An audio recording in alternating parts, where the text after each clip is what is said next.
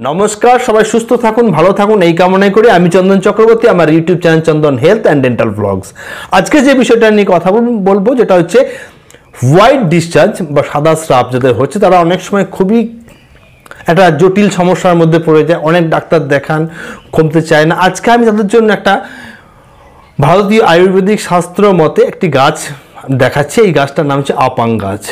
তো এই গাছের থেকে আপনারা ওষুধ বানাতে পারেন।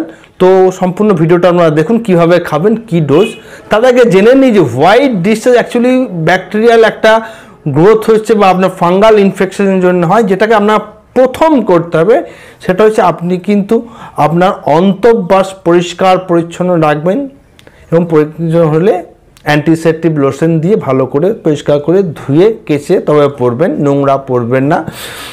দ্বিতীয় হচ্ছে যে কোনো পুকুরের জলে কেন স্নান টান করবেন না? কলের জলে স্নান করবেন। সাবান জাতীয় বা খাট জাতীয় কোনো জিনিস লাগাবেন না। বাজার চলতে প্রচুর লোশন পাওয়া যায়, যেগুলো পরিষ্কার রাখার জন্য। আপনাদের যৌনাঙ্গ সেগুলো পরিষ্কার করার জন্য। সেই সব লোশনগুলো ইউজ করবেন।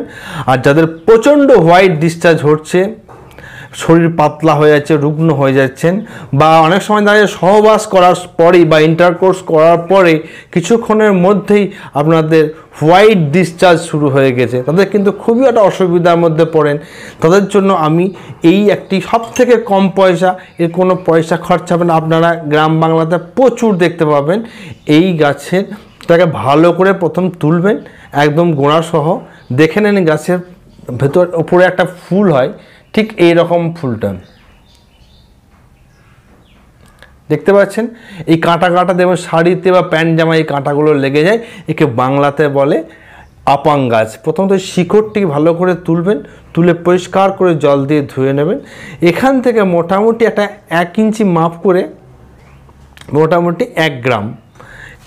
এরকম এতটা অংশ আপনি শিকড় কেটে নেবেন। পরিষ্কার করে কেটে নিলেন।